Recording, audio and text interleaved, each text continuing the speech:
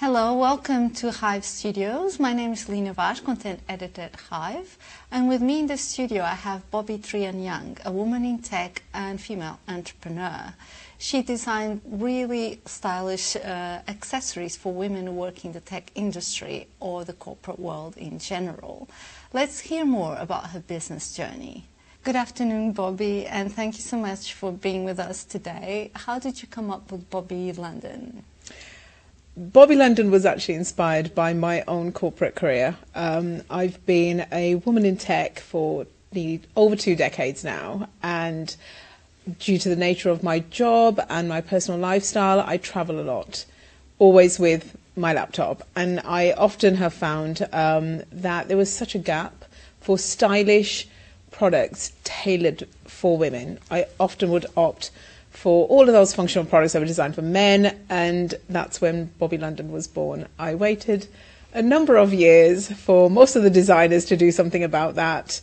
And then I decided to actually address the problem myself um, and decided to put together a collection tailored for corporate women, um, women in business, um, women in law, women in finance, and of course, women in tech, um, with a collection that not only is durable, um, but actually looks stylish and is functional and makes us, of course, productive.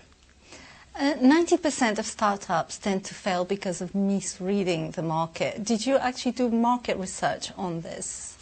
Um, I would say yes, because as a speaker it, um, within the actual industry to encourage the younger generation to choose a career in STEM, I often spoke to a lot of women who, um, and I got an opportunity to hear their journeys firsthand. Um, and that definitely identified the gap. Of course, firsthand for the last 20 years, I know firsthand that there, uh, there, there, was a huge gap. But it was just reaffirmed by speaking to a number of women um, directly who I shared the concept with. And to my surprise, it wasn't just women in tech. It opened up women in law sharing their experiences of how they also struggled with the similar um, scenarios, women in finance. Um, so I guess my focus groups formed my my market research, and it was really kind of good to hear that uh, there's much of a wider audience there, not just a, a small subsec- subsection that I was focusing on. But regarding women in tech in particular, mm-hmm. if we look now at the NFTs and the metaverse, that is still very much male dominated. Why do you think this is? Why are women so reluctant to work in the tech industry? I've got some theories on that. Um, it is definitely a male dominated industry. It takes a confident woman to um, actually pursue a career and come out successful at the other end. And these are some of the strategies I tend to share um, during my speaking events of what I do differently, um, how as a woman, in woman of colour, a minority in my own industry, um, I've actually succeeded. And um, the things that I do differently, um, but mainly my theory really is around women definitely tend to take um, career breaks to start a family, for example. And then there's the gender bias comes in where women often get asked this at interviews do you have any intentions of starting a family? Which in itself, a male counterpart would not be asked that question. Um, so I think there's that bias that there's investment being made into a woman, for example, her career, but she's going to then move away. And uh, you really wanted to build a woman-led team, and you actually succeeded because 80% of your workforce uh, is actually uh, made by women. Um, so how, why is this so important to you? Again, I think I really wanted to kind of empower women by creating a product designed for women, for women by women.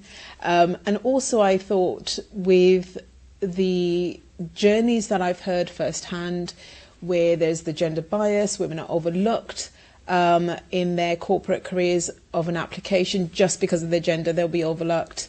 I wanted to be able to champion women and put them first and give them an opportunity to um, to, to, to bring their skill sets forward, to kind of em- empower them to be able to kind of have that confidence. Everything that I talk about Um, usually, the strategy is about building confidence.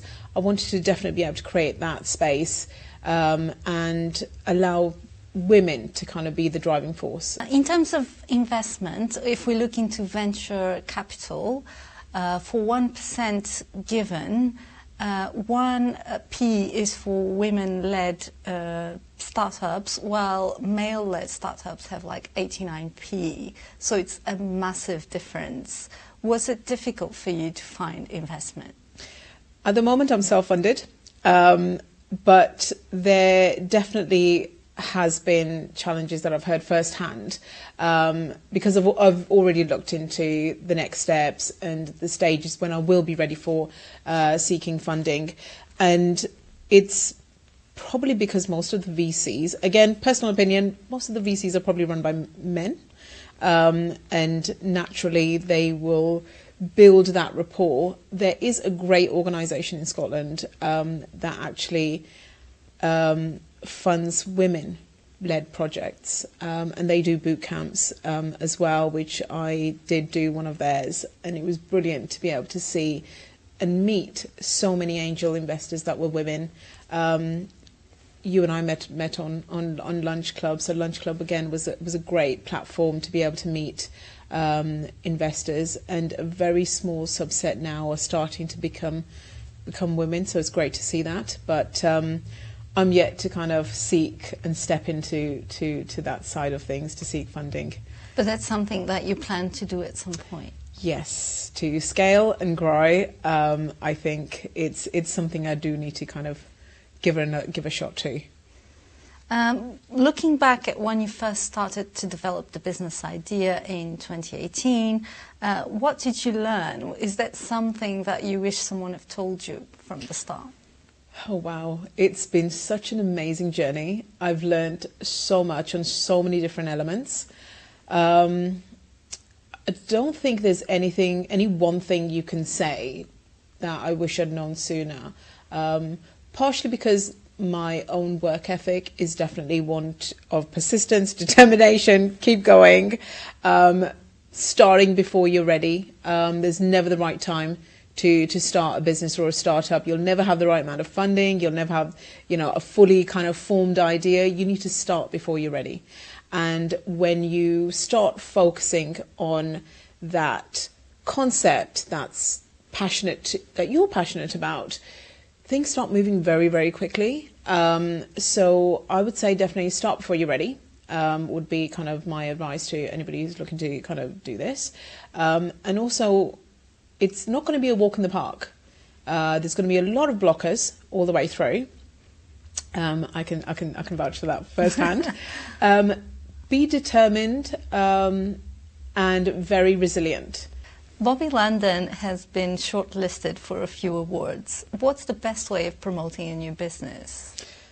Best way to promote a your own brand and business would be social media awareness. Um, definitely get out there and market yourself. There's nobody better than yourself to promote your own brand and business and rave on about how great you are.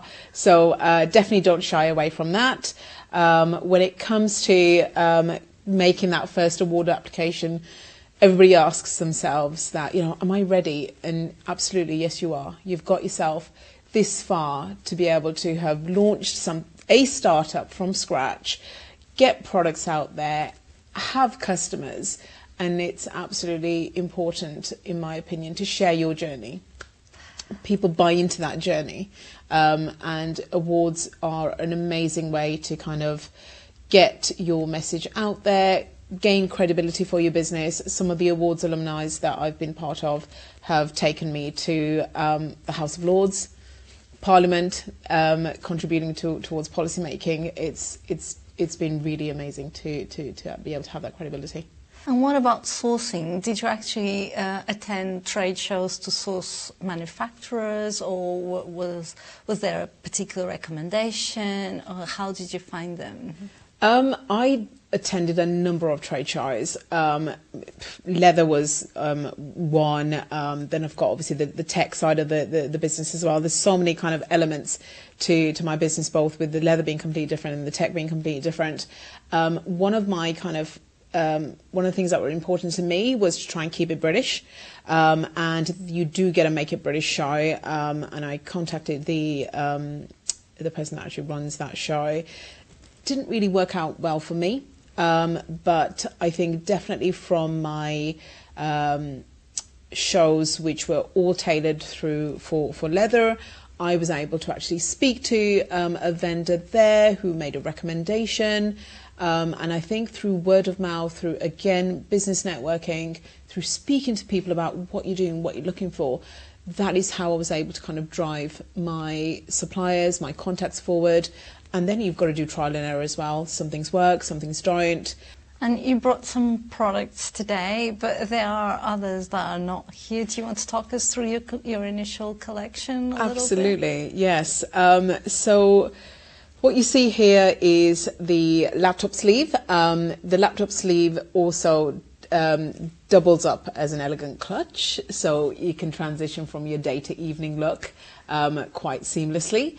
Um, then we've got right at the front, we've got an accessory holder, um, which I will demo, um, and a little keychain, um, which is designed to just snap on to your bag, and then you can easily find your keys. Which in women's bags, it's so difficult to be able to find anything in that, in that single pocket that we're given.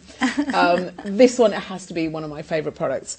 Um, as a frequent traveller, and definitely as a as, as a Londoner, it's it's an absolute godsend. Again, Carabiner allows you to be able to just hang that onto your bag, or if you're traveling at an airport, it will go onto your luggage trolley. This opens up, and you can actually wrap this around your jacket, coat. Uh, it's an adjustable strap, scarf, and be hands free, uh, especially in the tube um, where it can be kind of really, really warm. Um, these two products are actually uh, very, very new, hot off the, uh, the, the, the, press. And what you've got here is a crossbody um, which is actually slightly larger to be able to hold far more stuff. Uh, so you can get your phone, um, a large phone like mine, which is one of those dual screens. Um, you've got the width there to, to put your lip gloss or your lipstick in. There's ample kind of pockets in there for your wallets, uh, sorry, for, for your cards and then you've got some zip pockets as well for those those smalls. And just one last question: What is the most surprising thing about running a business? Is it as you expected it to be? And more. uh, I think it's been uh, an amazing journey. Uh, I was surprised how much I enjoyed the journey. It gets difficult, but you know, there's that rewarding element at the end of it. Um, a lot of hard work, which I didn't doubt. Um, I think most people do. Um, it's the constant, um, you've got to constantly champion your brand and business to be able to make it a success. Um, I think um, that definitely does surprise you. You can't just get your brand out there and forget about it. It's just it's a constant journey. But uh, I think I've just really thoroughly enjoyed my my journey through, and, and, that, and that surprised me. thank you so much for being with us uh, at Hyve Studios, and thank you for watching.